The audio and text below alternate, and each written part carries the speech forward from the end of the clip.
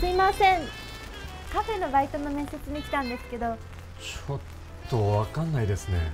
と本日10時からバイトの面接に伺うことになってる西山彩乃なんですけど。ああはいはいどうされました？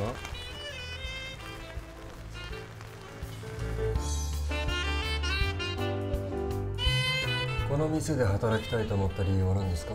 時給がいいこととあと家から近いっていうことですかね。採用です次いつ来れます？お願いがあるんですけど閉店後の1時間だけでいいんでここ貸してもらえたりできないですか？いいですよ。